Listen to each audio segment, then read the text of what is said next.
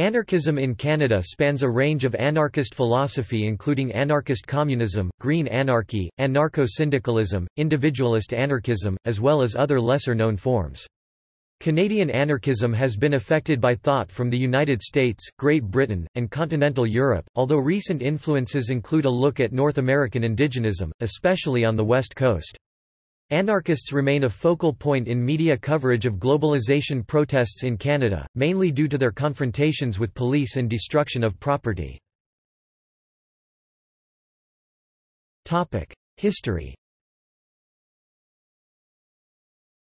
Historically, anarchism has never attracted large support in Canada, although small groups of activists and writers have often existed in many areas, especially in the larger cities.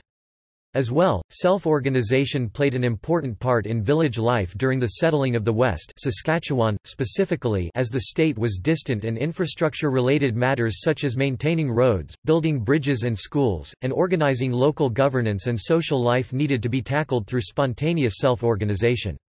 Peter Kropotkin also arranged for Doukhobors a sect of Russian Christians who refused to acknowledge state authority to settle in Saskatchewan and later BC. The Media Collective was a social group based in Toronto between 1994 and 1996 whose events included guerrilla performances and free vegan meals from Food Not Bombs.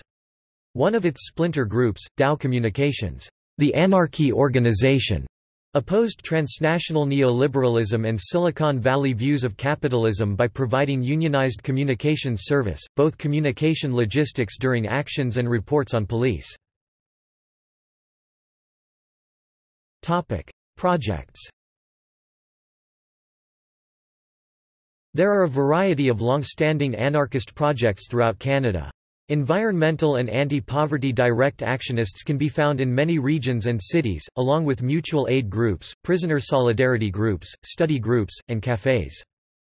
Related ventures include Montreal's Insoumise bookstore, which in 2004 supplanted the Alternative Bookshop, an anarchist bookshop founded in the early 1970s, Ottawa's Exile Infoshop, founded early 2007, as well as numerous other bookstores, infoshops, publishing houses, zines and other publications, record labels, and radio shows and micro-radio stations.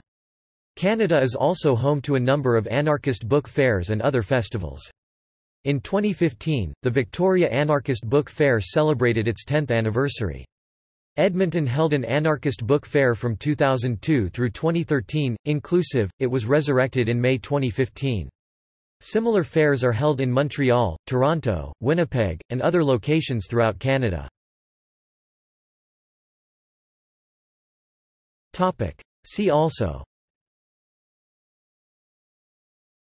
Camas Bookstore and Infoshop G7 Welcoming Committee Insoumise Bookstore List of anarchist organizations Mondragon Bookstore Ontario Coalition Against Poverty Political Culture of Canada Squamish 5 Topic. References